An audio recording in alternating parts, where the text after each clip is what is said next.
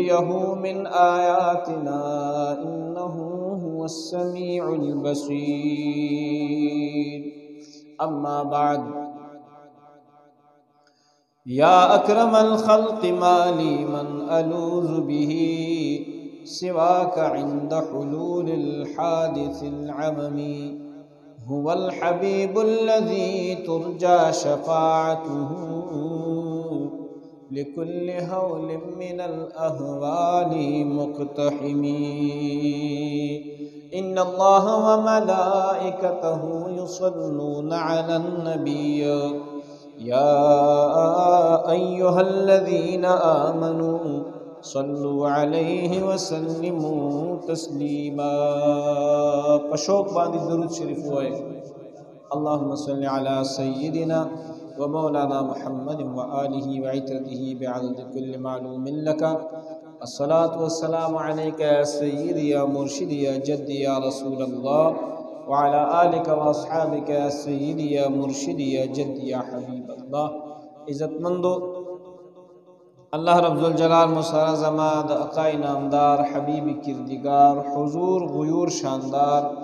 صلی الله علیه و آله وسلم کامل محبت اطاعت او ادب نصیب کا او الله رب الجلال مسترا زما دغه مشفق او مهربان نبی اخر زمان زینت کون مکان صلی الله علیه و آله وسلم شفاعت اورز د قیامت نصیب کا ډیره معزز او محترم اورز د ډیره معزز او محترم میاشت د شعبان المعظم چې پښتانه ورته شو قدر میاش وي د دې مبارکي میاش دي د حضرت علي سي په حساب سره شلم ورځ ده د پاکستان د حکومت په حساب باندې اتلسم ورځ ده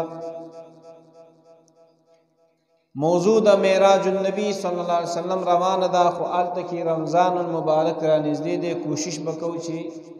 دا موضوع را غونډ کو نور مختصر کو چې صرف د ثواب په نیت باندې پکې شرکت کو محبوب علیہ السلام مبارک درې مسمان واقعات تیر جمعه تاسو وریدل چې د یوسف علی السلام سره ملاقات شو محبوب علی السلام سلورم اسمان ته روان شو 500 کال لار هغه تم وا محبوب علی السلام فرمایي چې سلور لکه فرشتي می استقبال ته ولاړ وي او نور فرشتي الله ته په قاعده باندې التحیات باندې ناشته وي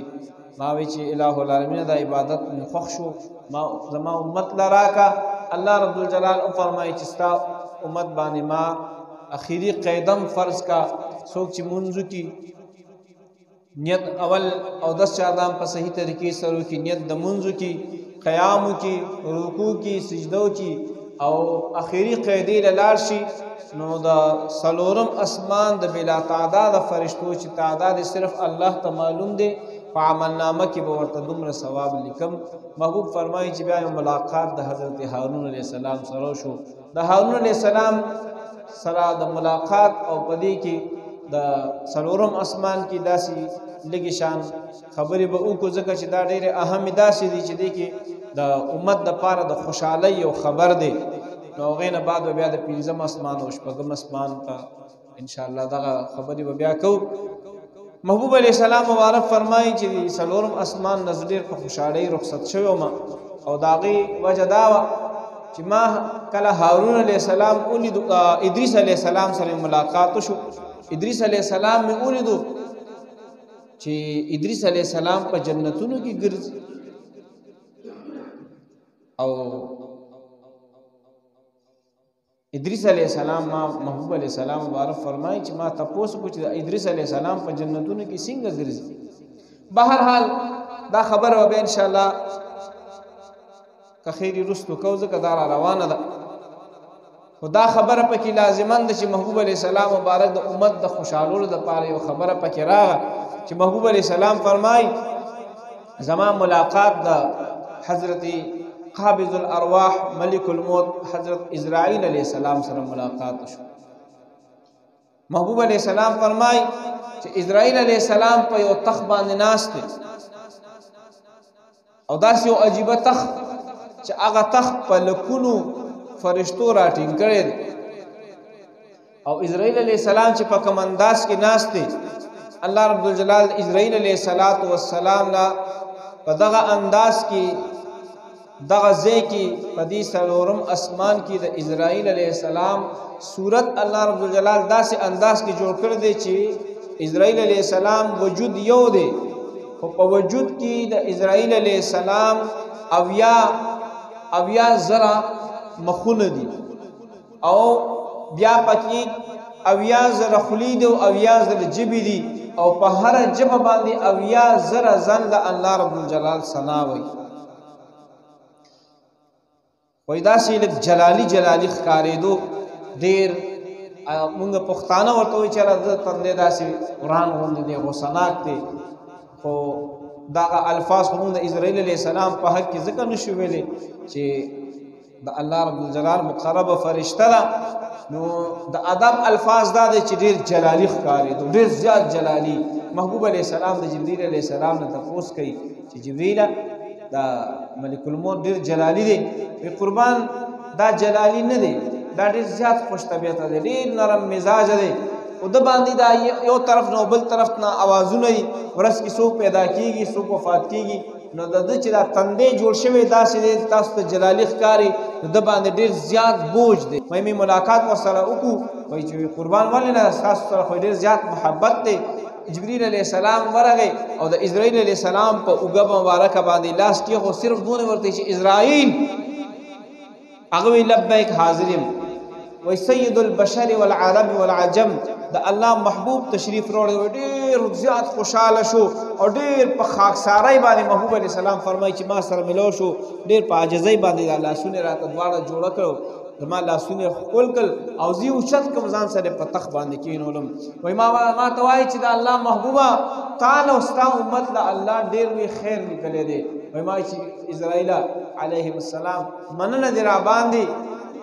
راتلو سره دی را باندې د امت د خوشحالي زیره او کوډیر زیات نظر خوشاله شو او تا نه یو تپوس کوم دا مخامخ و نظر تاسو ولاړه ده دا د سمنه ده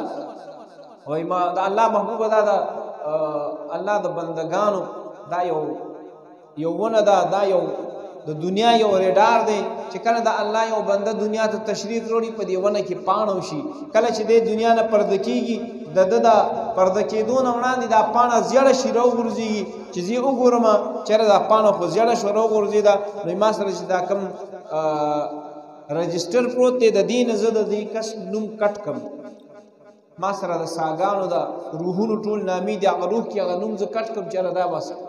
وفات کېدو ته تیار دی دی وفات کېږي چې کله هغه وفات شي نو هغه پس زه پورته نه ورځم ما ته مخامخ دا کاسه غوندې پرته ده لوښې زمان لاس دی لوښې ته دننه کوم دا لاس زما د الله په طاقت باندې هغه کلی ته هغه محلې ته هغه کور ته او هغه مثال کمره وی او کار دی وی د مړي سینې ته ور اورسیږي او دته نور را واخلم وای ما وی چې زما په امت به خیال ساتي وی محبوبه ګوره دا د خوشحالي خبر اورېخه مونږ باندې الله سمره مهربان دی محبوبه تاسو یو ځل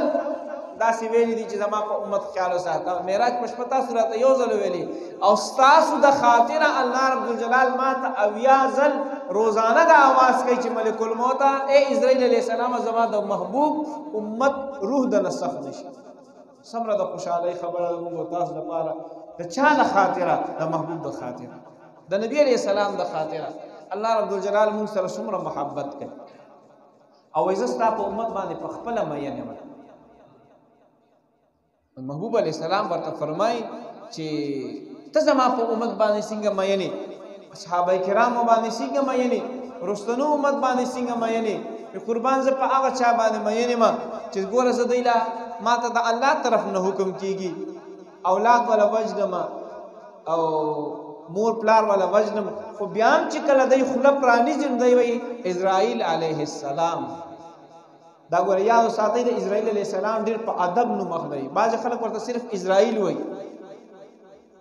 یا د مرګ فرشته وای نه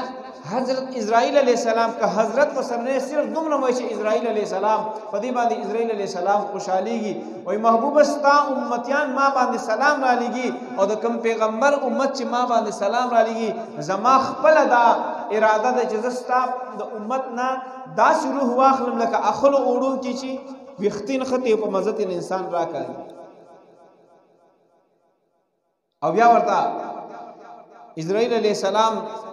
عرض کوي قربان د الله طرف نه داسو حکم دی چې ستا امتیان آیات الکرسی وې د مانځنه پس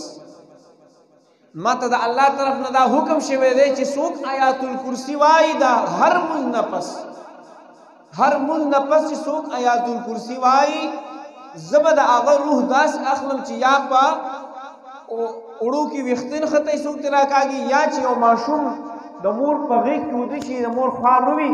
او په غیږ کې د مور ودی شو دا ماشوم بیا مور په مزه مزه د اود کېدو په ځای کې واچي سمې لې د بالغ باندې چیرې دا ماشوم راويخ نشي داسې طریقې سره بستا د امت نه روح اخلم چې هغه په روح باندې کلم پازار نشي محبوب علی السلام مبارک فرمایي چې ډیر زیات خوشاله شوم ډیر به حد خوشاله شوم پنځم اسمان ته ډیر په خوشحالي باندې روان شوم پنځه لکه فرشته می استقبال او الله د نور فرشته د الله په عبادت باندې مشغول دي ملاقات می د هارون علی السلام سره د موسی علی السلام مشر نور سره شو نور عجایبات د قدرت مې ولیدل شپږم اسمان ته روان شوم شپږم اسمان کې ملاقات دا حضرت موسی علیہ السلام سره شو او شپږ لکه فرشته می استقبال ته ولاړ نور فرشته د الله په عبادت باندې مشغول وي ملاقات می دا موسی علیہ السلام سره موسی علیہ السلام چې واپس راته موسی علیہ السلام په جړا شو جبريل عليه السلام ورته فرمایي چې موسی عليه السلام ولې جاري وای ما وی چې جاړم موسی عليه السلام فرمایي چې جاړم زکه چې په ټولو پیغمبرانو کې زړه نیازبینو ما او ډیر اول العزم پیغمبر ما په الله باندې هر نیاز بین توپ کړی دی او جړاله لپدی باندې راغه چې ما نه پس داسې یو پیغمبر راغی چې زما دین منسوخ کو ټول دینونه منسوخ کړ او ما سره خو الله دا وعده کړی و چې ستا امتیان به جنت ته مخ کې بوزم خو چې کله عقاید او جهان دنیا ته تشریف راوړو الله رب الجلال ور سره دا د پیدایش نه مخ کې وعده کړو چې محبوب ستا امتیان به ټول نه جنت ته مخ کې او موسی علی السلام د الله رب جلال په دربار کې یو ځلې عرض کړ کوه تور باندې الہی جعلتنی کلیما وجعلت محمدا حبیبا فمن فرق بین الحبیب والکلیم الہ العالمین ما ته په تورات کې کلیم دی او چې کله د نبی علیہ السلام مبارک نوم راځي محمد صلی الله علیه وسلم هغه ته حبیب دی نو فمن فرق بین الحبیب والکلیم د حبیب او د کلیم په منځ کې فرق څه دی الله رب الجلال له تو فرمایي چې زما کلمه موسی عليه السلام کله چې ما تستا حاجت راش او ته ما ناراضي ما نه دعا غواړي نو ټول شپه به عبادت وکي ټول شپه به راته وجاړي په جنا کې به عبادت وکي هغه نه پس به سحر کوهي تور تراشي ما ته به سجده ولګي په سجده کې به راته په جړاشي او هغه نه بعد به زما ما نه سوال وکي نو ستا سوال به قبلومه خو چې کله زما د محبوب حاجت راشي د محمد علی السلام مبارک حاجت راشي ما نه دعا غواړي زه ورته حکم کوم چې زما محبوبا ټول شپه دوسا مګر معمولی شان د شپې په لږه حصہ کې ما ته ویخوسا خو محبوب چې مکل حاجت راځي نو زه ولا په خپل قدرت چې څنګه د الله شان خای الله الله شان سره خای محبوب لبز خپل کوسی ته ورزم کور ته ورزم او د محبوب حاجت په پوره کوم محبوب ورته دومره ګران دی موسی علیہ السلام الله نه سوال کوي ربي ارینی ما تزان او خی الله فرمایي لن ترانی هرگز مې نشي لیدې محبوب علیہ السلام تمنا نه کوي معراج تبار غواړي موسی علیہ السلام چې کله کوه تور ته راځي الله طرف نه حکم کیږي چې موسی علی السلام دا پڼې دی وباسا او چې محبوب علی السلام مبارک کله عرش معلا باندې د الله الله رب الجلال په حکم باندې کله عرش عظیم ته ورځي محبوب په خپل پانی وباسي الله رب الجلال طرف نه حکم کیږي زما محبوب پانی مو باسا سره د پڼو باندې په عرش باندې راځه چې ستا د پڼو د ګرد نزه عرش عظیم ته عزت ورکړي محبوب ورته دومره ګران دی محبوب علی السلام فرمایي چې بیا زه موسی علی السلام سره مناظرم شي وخو هغه اوس ټیم په لګي بیا به خیر په دې باندې چرته دا په بل موضوع کې وایو ځکه چې ټیم ډیر نازک ته ولته روزي ته ورځي لګي دي ما خو تاسو ته مخکې مارس کړو معراج شریف واقعیت ارسو نشي کولای دا ډیر لوی ټیم غواړي بهر حال ثواب په نیت باندې عرض کو محبوب علیہ السلام مبارک او مسمان ته روان شو محبوب فرمایي چې اوله ک فرشته می استقبال ته ولاړ دي نور فرشته د الله رب الجلال په عبادت باندې مشغول دي او ملاقات می د خپل بابا جان ابو الانبیاء نجیب الانبیاء شیخ الانبیاء حضرت ابراهیم علیہ السلام سره محبوب فرمایي چې ابراهيم عليه السلام ته مو قتل نو ابراهيم باباجي می او زوی هو به هو ظاهرا شکل کې یو شان دي محبوب عليه السلام فرمایي چې ظاهري صورت ابراهيم عليه السلام او زه موږ دواړه یو شان دي ولې نو سې نه کړ په په و مسمان کې یو کعبه د چې هغه ته بیت المامور وای ابراهیم علی السلام ورته ډډه والي وا او دا د خوشحالي خبر وره چې فرشتو له کعبه انسانانو جوړ کړی دا دا څومره د خوشحالي خبره ده د فرشتو کعبه چې جوړه شوې ده بیت المعمور دا انسانانو جوړه کړه د آدم علی السلام په وخت کې جوړه شوه خو چې بیا د نوح علی السلام طوفان کله راتلو فرشتو الہ العالمین دا کعبه خودل ته خرابېږي دا مونږ یو سو نو سره دا غزمه کې فرشتو چې دینو هغه کعبه مبارکه او مسمان ته یوړه او بیا واپس ځړنه کېدو چې دا ورکو الله رب الجلال نه اجازه ته وسو په و مسمان کې هغه پاتې شو هم هغه نقشې باندې د هغې د لاندې یو شان څنګه چې مثال به تاسو ته دا وایو دا لیټ لګېدلی او دې لیټ ته لاندې یو شان لیټ ولګې دغسې بره په اوم اسمان کې چې په کوم طرف باندې کوم ځای کې بیت المعمور دی جبریل علیه السلام د هغه ځای نه نقشه راوړه او ابراهیم علیه السلام ته نقشه واچوله چې په دقه ځای باندې کعبه جوړه کړه د دنیا په دې مینځ باندې کعبه د ابراهیم علی السلام په وخت کې بیا بیت الله شریف ته یا شو ا بیت المعمور دی دا بیت الله شریف دی هغه کې فرشتي لګیا دي طوافونه کوي او چې یو ځل کوم فرشتو په یو ګروپ کې طواف وکړو د هغه فرشتو تر قیامت تر ورځې پورې بیا نمبر ناراضي او چې څومره دا فرشتي طوافونه کوي د دې ثواب ټول د نبی علیہ الصلوۃ والسلام مبارک امت ته ملاويږي ګورم خبر نه یو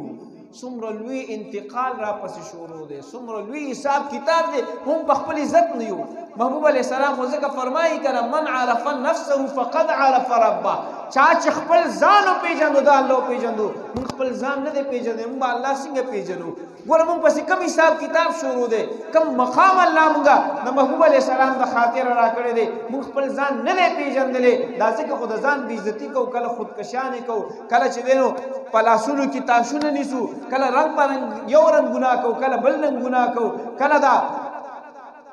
کله غلاګانو ته لاس واچو کله یو قسم ګنا کله بل قسم ګنا کله یو وجنو کله بل وجنو کله ځان وجنو د ځان عزت را سره خیال نشته د بل د عزت را سره خیال نشته دی او الله رب جلال په موږ باندې څومره لوی احسانونه کړی دي موږ ولې داسې کوو موږ ځان نه پیژندل موږ پسې کوم لوی انتقال شروع څومره لوی حساب کتاب را پسې د ثوابونو شروع دې موږ خبرم نه یو الله رب الجلال په موږ څنګه مهربانيانې کړې دي او بیا موږ ناشکر یو محبوب علیہ السلام فرمایي بل د خوشحالي خبر په دې او مسمان کې ډېر د خوشحالي خبر او هغه دا دی و چې کله رخصتې دما ابراهيم عليه السلام راته فرمایل چې زما محبوبا اے زما بچیا چې کله دنیا ته تشریف یو سیدین اسمانونو نه معراج نه چې واپس شو دنیا ته واپس لاړ شي په ټول امت باندې زما سلام وایا محبوب علی السلام فرمایي چاته چې د ابراهیم علی السلام سلام رور چې دی جواب ورکړي ابراهیم علی السلام ته چې وعلیه السلام تاسو ټول باندې ابراهیم علی السلام سلام ویلې دي څومره موږ څومره خوش قسمت یو او ناشکر یو د پیغمبرانو لوی بابا را باندې سلام را لېږلی د چا په ملت چې یو ملت حنیف بعض بعض خلق اکثر وای کنه دا شرک ته دا شرک ته دا بدعت ته زویم یو سیستم شرک نشته ځان صفا کړه الله رب الجلال موږ له ملت داسې را کړی دی دي ته ملت حنیف ویل شي حنیف ملت حنیف حنیف معنی د هر قسم شرک نه پاک زمون دین زمون ملت زمون مذهب د هر قسم شرک نه پاک دی دا کوم کسان چې د شرک خبرې کوي دي ته پته نشته دا نه په دې ځکه د شرک خبرې کوي اس کلم د نبی علیہ السلام امتیان شرک نشي کولای نه کولای شي نه کوي او نه به وکړي چا کې چې معمولی غوندي ایمان یا به اس کلم شرک ونکړي شرک ځکه نشي کولای چې د الله ذات دومره لوی دی چې د الله د ذات چاته پته نشته نه د ابتدا چاته پته شته نه د انتها چاته پته شته شرک هغه ته ویل شي چې یو شان د الله ذات سره یو سیس وزن کې برابر کې لکه مثال به تاسو ته دا وایم یو سیس چې کیلو برابرې نو بل کیلو کانه به ورسره ګینو اله به کیلو برابرېږي چې کانه دی کیلو نه یې بل سیس دی ورسره کیلو یې تا ته څه پته چې دا کیلو دی که کیلو نه دی نو دغه سید الله رب ذوالجلال ذات اچا ته دا غي وزن نه معلوم سوق چې وای چې فلا داس شرک دی او دا فلانه شرک دی او ډنګړې شرک دی دې سيزون ته چې سوق شرک وي هغه د الله ذات وزن کړي دی هغه ته د الله د ذات پته وي مو خودونه جرأت نشو لرلې پیغمبران جرأت نشي لرلې چې د الله ذات وزن کې او د الله د ذات ورته پته ولګي نو شرک د کم ځای نه راغلو اس کلم په یو څیز کې شرک نشته دی او نه یریږي د هیڅ څیز نه ابراهیم علیه السلام د محبوب په امت باندې سلام علیږي محبوب علیه السلام فرمایي چې د الله د قدرت عجایبات ولیدل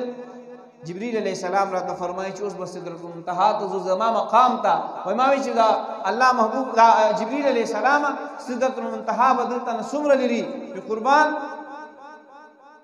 د زمکه نړومبي اسمانه پورې 500 کال لار ده بیا دیم اسمان پورې 500 کال لار ده دا سه او اسمان دي نو درې نیم زره کال شول او اوس یوازې دا او اسمان نه سدرت المنتها ته درې نیم زره کال لار پاتې وای ما وی چې دا خو ډیر مزل دی قربان د الله په حکم سره او تاسو په برکت باندې په سکند کې به ان شاء الله ورسېدلی د محبوب علی السلام روحانی جلوس قدسی په هوا شو او محبوب علی السلام په سکند کې دنه دنه سدرۃ المنتہا ته رسیدلو سدرۃ المنتہا اصل کې دا د د بیری ونه ده محبوب علی السلام فرمای تازه تازه بیری نیولې وی یو یو بیره د بنو حجر د منګیوم روا او ټغرتی بیره او یو یو پانی د اتی د غوګم روا یو پانه پکې په اویا غزا پلنه و په اویا غزا باندې وګدوا د نور جانماز په غړېدلې د خوا کې کرسي پرته ده دفتر جوړ دی جبريل عليه السلام فرمایي چې زما محبوبا دا زما دفتر دی دا د الله رب الجلال د قدرتونو یو هډ افیس دی کله چې الله رب الجلال یو سیس فیصله وکړي نو هغه دا الله رب الجلال په قدرت باندې دلته راځي دلته بیا زه درې حصے کوم درې حصے کما یو حصہ د الله کارکنان د قدرت ته ولېګم چې دی باندې کار شروع کړي هغه سیس باندې کار شروع شي یو ځان سره نکلو ساتم چې سباران الله تاسو کوي چې ما ما در لیدر لګوزه ملاه العالمین ثبوت را سره پروت دی او یو واپس د الله دربار ته ولېګم چې الہ العالمین په سیس باندې کار شروع شو کارکنان د قدرت شروع دي او مکه د دنیا سیستم دلته دی هغه هغه دنیا سیستم دی دنیا کې دی دا چې هر یو غټو غټو دفترو ته ورشي که تاسو خیال کړی نو هر دفتر کې بیا هم دغه سکیږي چې کله د حکومت طرف نه سرکاري طرف نه یو کار باندې شروع کیږي نو هغه داسې درې حصے شي چې کله درې حصے شي یو حصہ رولې ګلې شي پالک په دې باندې کار شروع کوي یو ځان سره نقل ساتي ثبوت د پاره بل واپس کاغذ لیکي چیرې کار شروع شو په دې سیس باندې نو دا د الله رب الجلال د قدرت یو هډافیس دی محبوب علی السلام ته جبرئیل علی السلام عرض کړي چې د الله محبوب ما د الله نه اجازه غوښته چې کله ستا محبوب راشي نو ما سره بلګ ملمن کیږي نو محبوب ما سره بلګ تاسو ملمه یې دلته به یو رکعت مونږ وکي هغه رکعت مونږ کې بداوي چې دا فرشتو دا یو تمنا کړی دا فرشتي بر پسې مونږ کې او غینه بعد تاسو بیا زئی محبوب علی السلام وار فرمای چې زه ناس تم په جالمان باندې جبرئیل علی السلام فرشتي راوستي مخ کې را تکینولي سفرشتي خي طرف تکي ناشتي سفرشتي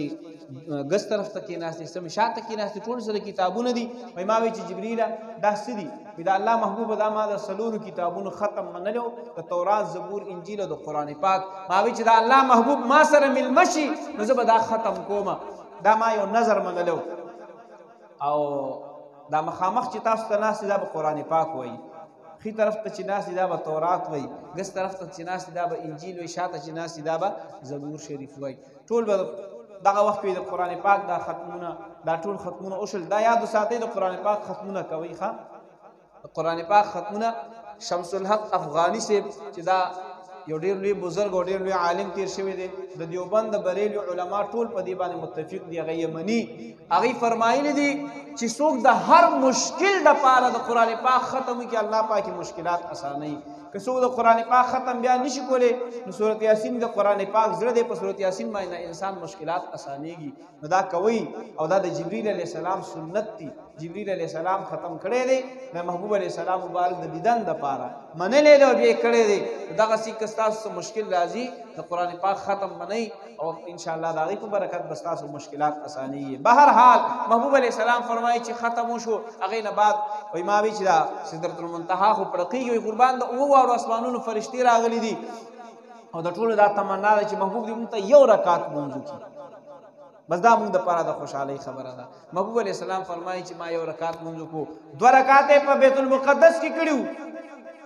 انبیاء ته یو رکعت په سدرۃ المنتهى کې کو دا درې رکعات وتر چې جوړ شوی دی دا دین جوړ شوی دی دا درې رکعات وتر چې موږ تاسو کو محبوب علی السلام فرمایي چې څوک درې رکعات وتر وکي په صحیح طریقې سره درې رکعات وتر دا د ټولو پیغمبرانو یو لک سلیری زرو پیغمبرانو او په سدرۃ المنتهى کې چې د اوو واړو اسمانونو سره سدرۃ المنتهى فرشت فرشتې چې څومره راغونډې شوي وي او دا مونږ کړی دی د ټولو ثواب ورته الله رب الجلال عمل نامه کې لیکي ثوابونه ثوابونه دي خو مونږ ناشکرې مونږ ډیر ناشکرې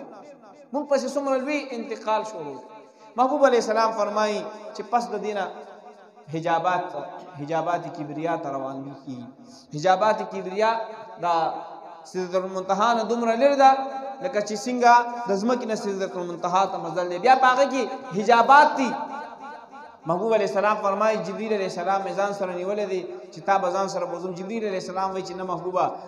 زه دلته نه بره تللی نه شم دا خو ستا شان دی الله تعالی شان درکړی چې تاسو تللی شئ زه خو چې لږ بره کېږم د الله رب الجلال د قدرت دا دا جلوي چې دي دا زما وزرې سوځوي زه نه شم ټینګېدی ما ته د الله د طرف نه اجازت نشته وایي ما چې نه زه دې بوځمه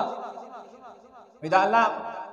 محبوب علیه السلام مبارک فرمایي چې ما جبرئیل علیه السلام ځان سره کلک ونیو په ده باندې ما یو قدم مزل وکړو یو قدم مزل دومره مزل ما په دوه کوله کې چې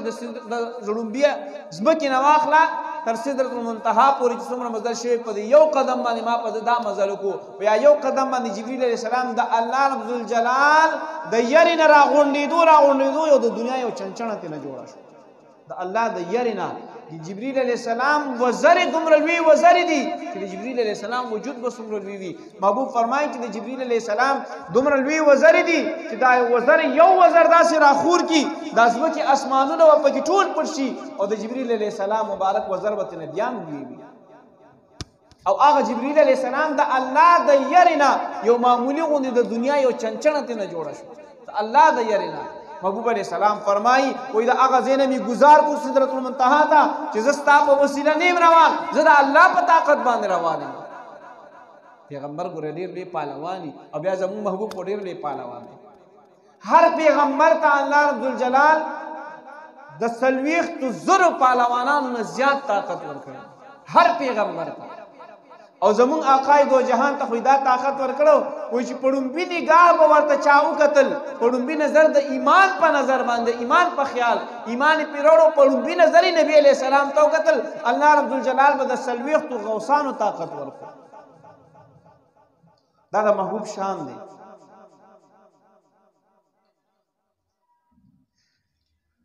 یو ډېر خپل خبره یاد شو ان شاء الله دا بیا او ځکه چې بیا نه موضوع ګډوډه کیږي د محبوب علی السلام د طاقت خو ان شاء الله ک الله چرته مقرا و صدا و بیا وکړو محبوب علی السلام فرمایي چې سدرۃ المنتهى نه حجابات ته روان شم او یا زره حجابات د اور راغ تیر شو او یا زره حجابات د سرو یاقوت راغ تیر شو او یا زره حجابات د اوبو راغ تیر شو او یا زره حجابات د شنو زمرد راغ تیر شو او یا زره حجابات د هوا راغ تیر شو دغه سي حجابات نشي تیریږي پاغه کې بیا د اسماء الحسنا دربارونه راغل محبوب علی السلام فرمایي چې په هر دربار کې اسماء الحسنا د الله نمونه نو نن مې نمونه چې د الله دی وای په هر دربار کې ما او یا او یا کال جلوه فروزی وکا ناشته مې وکړو محبوب علی السلام فرمایي د رؤوف په دربار راغم رؤوف شوم او د رحیم په دربار راغم رحیم شوم ځکه الله رب الجلال او فرمایي بالمؤمنین رؤوف الرحیم زما محبوب په مؤمنانو داسې رؤوف الرحیم دی چې څنګه په بندگانو رؤوف الرحیم خو محبوب علی السلام چې څنګه رؤوف رحیم دی محبوب ته الله دا صفاتونه ورکړي محبوب ته عطا شوی دي او الله رب الجلال ته چا عطا کړی دي دا الله خپل صفاتونه دي دا فرق دی د الله د رؤف او د رحیم د دې صفاتونو حد چاته نه دی معلوم نه ابتدا چاته معلومه ده نه انتها چاته معلومه ده او د عقاید او جهان چې څومره الله رب الجلال خپل محبوب علیه الصلاۃ والسلام مبارک ته ورکړي دي د هغه طاقت او بل دا عطای الله رب الجلال خپل محبوب ته ورکړي دا غي طاقت د برداشت الله خپل محبوب ته ورکړي دا د الله خو خدای چې ورکړي بهر حال محبوب علی السلام مبارک فرمایي چې کله حجابات کبریا ته اورسیدم اذان کیږي سبحان الله اذان اذان کیږي فرشتہ اذان کې والله رب جلال په خپل جواب ورکړي څومره مزه کوي و چې کله حجابات کبریا ته ورسیدم اذان شروع شو جبرئیل علی السلام د سدرۃ المنتهى نه आवाज راکړي چې د الله محبوب لګ انتظار وکا دا اذان وره اذان کیږي او دا اذان جواب الله رب الجلال په خپل قدرت سره په خپل ورکړي وای ما چې جبرئیل دا سدي په ما خو ډیر خوګ لګي دا اذان وای دا الله محبوب دا چې کله عاشق او معشوقه یو ځای کیږي نو دا اذان کیږي نن تا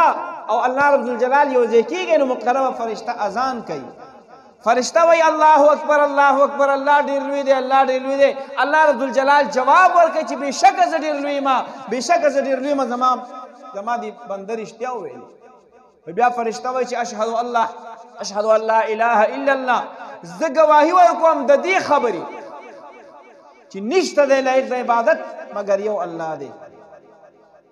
الله رب الجلال جواب ورکړي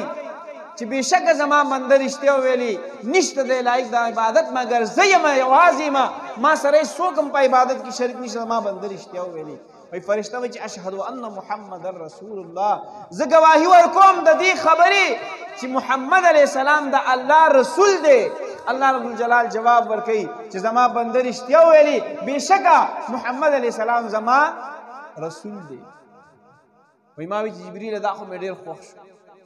ډیر زیات را باندې خوب ولګیدو د خپل امت له غواړم محبوب و غواړه وای ما وی الہ العالمین دا اذان زما امت لرا کې وری مؤمنانو د خوشحالي خبره بل وری ټول د خوشحالي خبرې دي الله رب الجلال ما ته فرمایل محبوبا اذان مستا امت لدر کو خود خوشحالی خبره بل وره تا مالا معراج لراغي یو ځل را لراغي دیدار دی لزلو کو خو چې ستا یو امتی کله اذان وشي او په دې اذان باندې د مزل راځي مزل په ورځ د قیامت به دا نن چې ما سره ستا دا کم ملاقات شو په ورځ د قیامت به زما په نظر کې دا منځګزار او دا ملاقات یو وي څومره د خوشحالي خبره ده دا ځکه خو محبوب علی السلام فرمایي چې الصلاه معراج المؤمنین موږ د مؤمن معراج دی موږ د الله سره خبرې کول دي د الله سره دیدار دی الله رب الجلال موږ روزانه دیدار راکې هم موږ نه کوو موږ کمزوري محبوب علیہ السلام فرمایي پس دا غینا په عرش معلا باندې زه جلوه فروزی زما کیږي نو چې کله عرش معلا ته ورسیدم دی پنی دی خپې می لګ شان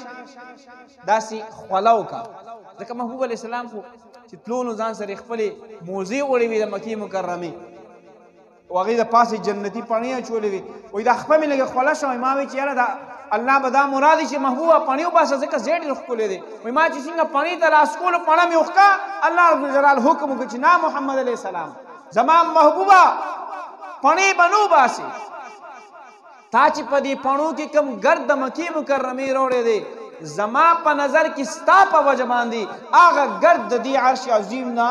ډیر اوچت دی نو ته نن د پڼو سره راکوشه چې ستا د دې پڼو د ګرد نه خپل عرش عظیم ته اوچت مقام ورکړم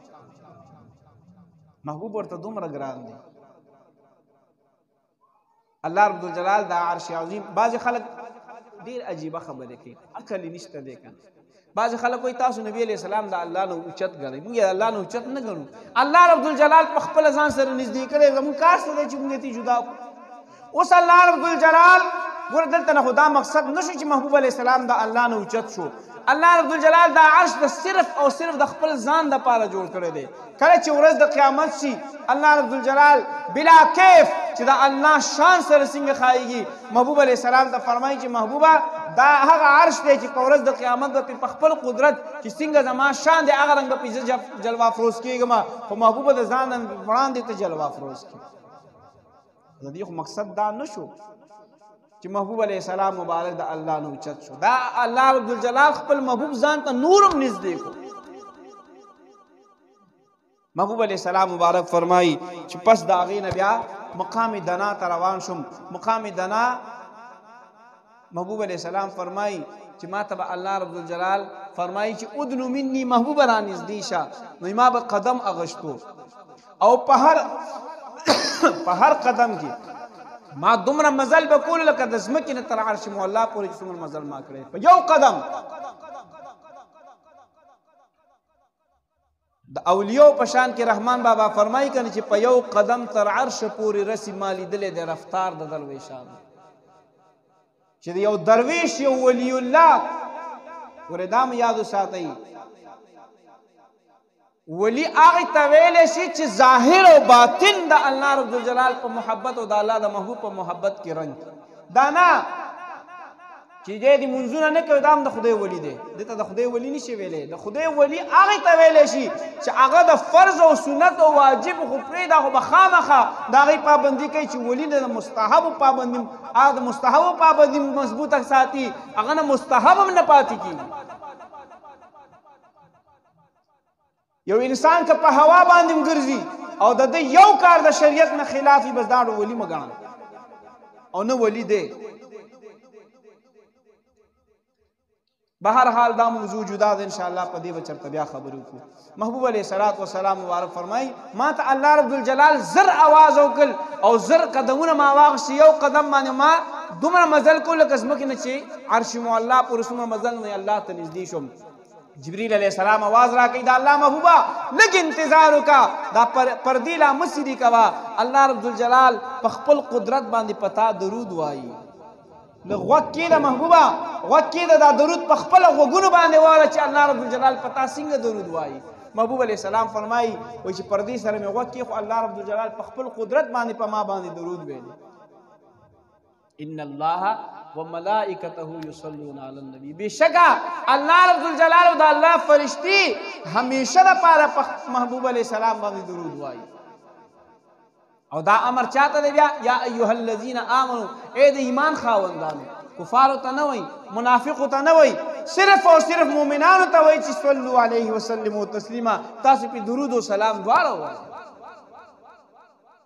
محبوب علی السلام فرمایي و چې کله درود ختم شو پرده سری شو الله رب الجلال الله تو فرمایي چې محمد وی ما وی لبیک الہ العالمین حاضر یم ډیر احسانونه در باندې وکړ ربا ستا محبوب تا ته حاضر دی وی الله رب الجلال مال د خپل قدرت چې د الله شان سره څنګه خایي د الله قدرت سره څنګه ښايي د عامو خلکو غوندې نه خو چې د الله قدرت سره څنګه ښايي الله رب ذوالجلال ما له د خپلې مینې غاړه راکړه عاشق او معشوقه یو ځای شو او چې کله محبوب علیه السلام فرمایي الله رب ذوالجلال د خپل قدرت بلا کیف لاس مبارک چې د الله شان سره څنګه ښايي دا غي مثال دا غي تشبيه نشته اس سلام دا الله رب الجلال دا قدرت بلا کیف لاس وی الله رب الجلال زما په دې املا باندې څنګه کی خودو دا غي اخواله دا غي هغه سرور او دا غي خوشحالي ما په دې خپل سینه مبارکه کې محسوس کړ په هغه لاس کې الله رب الجلال ما ته اولین او اخرین څومره علمونه ټول ما ته الله را نصیب محبوب فرمایي چې زه خپل امتیان داسې وینم لکه د لاس په تلي کې چې انسان ته سخکاري هر امتی د هر امتی د پلار او د مور او د هر امتی د علاقې او د هر امتی پورا علم الله مال راکو هر امتی زه داسې پیژنم څنګه چې ما پیژنم او محبوب فرمایي زما دې د الله په ذات باندې قسمي ګوره محبوب د الله په ذات قسم خوري چې زما دې د الله په ذات باندې قسم خوري چې ما ته امام مهدي صاحب مخکاري ما ته یاد دی چې امام مهدي صاحب به داسې طریقې سره راځي هغه سره چې کم کسانی او اواز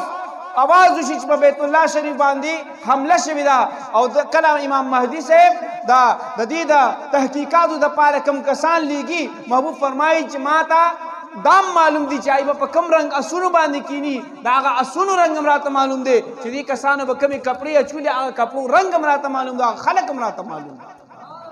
دا د محبوب علم دی چې الله رب الجلال ورکړی دی نور علم غیب څه ته وایي علم غیب څه ته وایي هم دې ته وایي که نه د دنیا په سنسونو خو خلکو ته څومره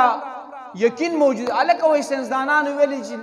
دومره دومره ورځې به هوا وي ټولو یقین جوړ شي یاره ساینسدانان ویلي څوک وایي یاره د ټي وي زبرګانو ویلي دي هلکه وایي دونه ورځې به باران کېږي هغوی داسې نه وایي چې باران به کېږي د باران امکان دی په ډاډه زړه هم نه وایي چې کېږي پاغي د خلکو یقین شته ولی ساينس ویلي دي او د الله په محبوب یقین نشته د الله قدرت العیاذ بالله دومره کمزور شو چې تاسو زمو یقینونه ختم کړ یقینونه هم پینشته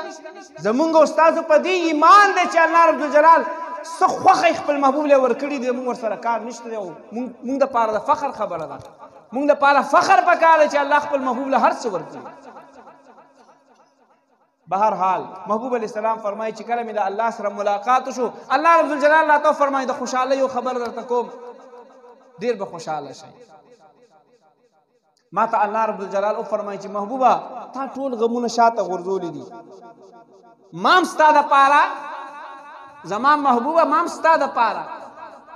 ستا د راتلو د پاره کائنات خسته کړی دي خو محبوبه نور هر څه به بیا کیږي ما صرف دې د پاره راوغوستي چې زما د قدرت عجایبات وویني چې ما ستا د خاطره څه څه پیدا کړي دي او یو مې دې د پاره راوغوستي چې ستا یقین نورم خاص یو نور دم یقین پوسی چې او زما الله شته په ورځ د قیامت با ادم علی السلام له خلق راشي چې ادم علی السلام سخت عذاب دی سخت ګرمي ده الله رب الجلال ته وایا چې حساب کتاب شروع کی او یا ادم علی السلام نه څوک ته پوښتنه کوي چې الله شته دی ادم علی السلام وایي چې او الله یو دی تا لیدل دی ادم علی السلام وایي معنی دی لیدل ابراهيم عليه السلام نه تپوس کیږي الله رب الجلال شتا او الله رب الجلال شتا دی یو دی تالی دلې دی نه ما نه دی لیدلې دا چې په هر پیغمبر یو لک سلیری زره زیاتو کوم پیغمبران نه تپوس کیږي چې الله رب الجلال یو دی ای وای چې او یو دی تاسو لیدلې دی هر پیغمبر به وای مونږ نه دی لیدلې عقاید او جهان لچ راشي محبوب الله شته دی او الله شته دی یو دی او یو دی څنګه یو دی ځکه یو دی چې ما لیدلې یو دی سمره د خوشحالي خبره ده بل د دین زیاته د خوشحالي خبره وره چې تاسو خوشاله شئ هغه څه خبره ده محبوبا نور خبرې به رستو کو ګور الله رب الجلال د مینې دی خبرو ته ګوره ښا د مینې کلام چې د الله شان سره څنګه خایي نور خبرې به رستو کو ترا ته استاد امت سم معاملو کوي څومره د مینې او د محبت خبره چې الله رب الجلال باندې د محبوب د خاطر مونږ او تاسو څومره ګران یو د هر څه نه مونږ او تاسو وړاندې وای ما وی الہ العالمین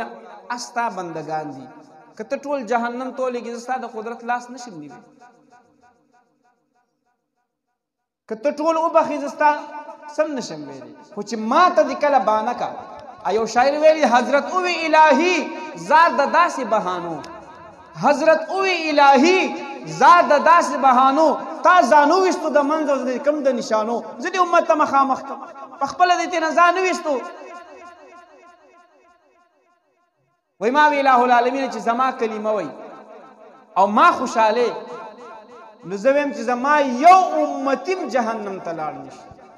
وای محبوب دا می تا سره وعده ده چې ستا یو امتی بم جهنم ته نه لوځي وای ما وی چې زما د ستا په ذات باندې قسم الہ العالمین چې زه په جنت کې قدم ترغه پورې کې ندم ترسو پورې مې چې ځان خپل امتیان وړاندې کړی تاسو په خپل ایمان وای دومره مو مینه بر سره مور پلار کړی دونه مینه بر سره کور والا کړی دونه مینه بر سره استاد کړی دونه مینه بر سره خپل پیر کړی دونه مینه بر سره چام نه کړی د دنیا ټول دوستان یاران د دنیا هر قسم خلق راغون کا دومره ذمہواری او دومره مینه تاسو سره سوکم نشي کولای سمره چې سره قائد او جهان کړی چې د ځان نه مخ کې جنت تلیږي الله نه بعد بعضی علما کرام فرمایي چې اتل زرا بعض خبر وای علما کرام چې نه او یا زرا بعض علما کرام وای چې نه اتیا زره خبرې د راز او د محبت وشوي هغه نه پس محبوب علی السلام مبارک را رخصت شو محبوب علی السلام فرمایي چې زه بیا را رخصت شم بس تر دې پورې دا ډیره و ان شاء الله بس خبرې کمې پاتې دي که خیرې را روان جمعې لم ان شاء الله دا ختم کو بیا د رمضان المبارک په شان کې سو خبرې کو الله رب الجلال دې په دې باندې موږ تاسو ته عمل راکړي د عمل کولو توفیق راکړي او یقینا ما ته خو اندازه دا سخکاری اندازه راته دومره ده چې تاسو نن ډیر خوشاله یې په دې خبرو ځکه چې د محبوب علی السلام په مینه باندې چې انسان کله رنګ شو د محبوب د مینې خبرې وړو اندازې نه پته لګي چې خوشاله یې نو الله عزوجلال دې دا کومه خوشحالي چې ستاسو زمونږ د پاره الله مقرر کړې ده او الله را کړې ده دا د خدای پاک زمونږ ستاسو په دواړه جهان باندې نصیب کړي الله رب الجلال دې په دې سو خبرو باندې مونږ ته او تاسو ته عمل راکړي د عمل کولو توفیق راکړي واخر دعوانا ان الحمد لله رب العالمین